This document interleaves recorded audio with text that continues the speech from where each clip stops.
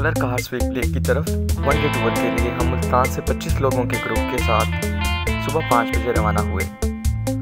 हमने नाश्ता अब्दुल के पास एक लोकल ढाबे से किया और आधा घंटे की ब्रेक के बाद दोबारा कलर कार की तरफ़ रवा दवा हुए। ये है खंडोवा गाँव और इस पॉइंट से आगे बड़ी व्हीकल्स नहीं जाती।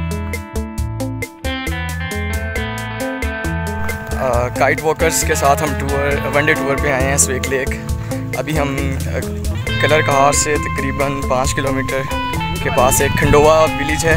उधर मौजूद हैं उधर से हाइकिंग का स्टार्ट हुआ है. और हमारे साथ एक पूरा ग्रुप है. बिलाल ने हमें फैसलाबाद से ज्वाइन किया. बिलाल कैसा एक्सपीरियंस है? अभी तक तो काफ़ी अच्छा जा रहा है. आ, बस हाइकिंग हाइकिंग ट्रैक है. अच्छा अच्छा।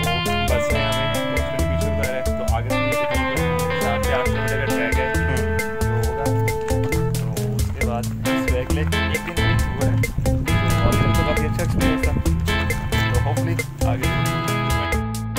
और हमने फिर चलना स्टार्ट किया।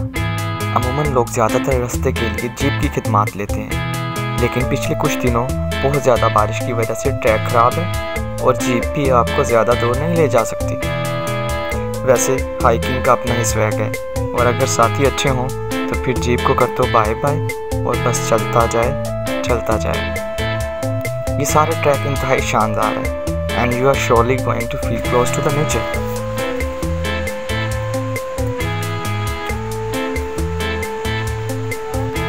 hiking करें थक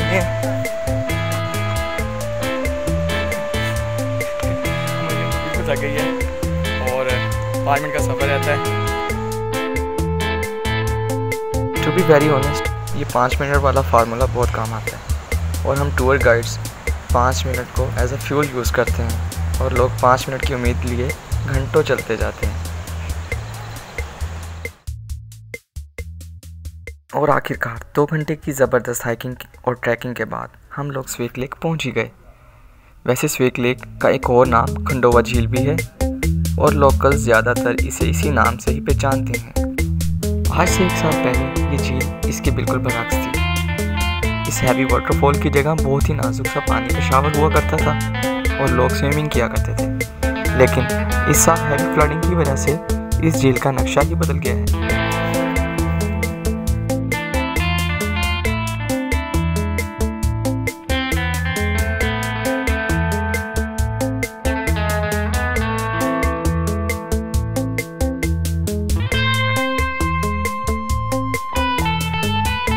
स्वेकली कभी भी सयाहों के लिए बहुत ही ज़बरदस्त अट्रैक्शन है। अगर खंडोवा झील से रिलेटेड कोई भी इन्फॉर्मेशन चाहिए तो आप डिस्क्रिप्शन में दिए गए नंबर और लिंक्स पे कॉन्टैक्ट कर सकते हैं। और पाकिस्तान के मजीद ट्रैवल ब्लॉग्स देखने के लिए चैनल को सब्सक्राइब करना मत भूलिएगा। फ़ी अमानिल्ला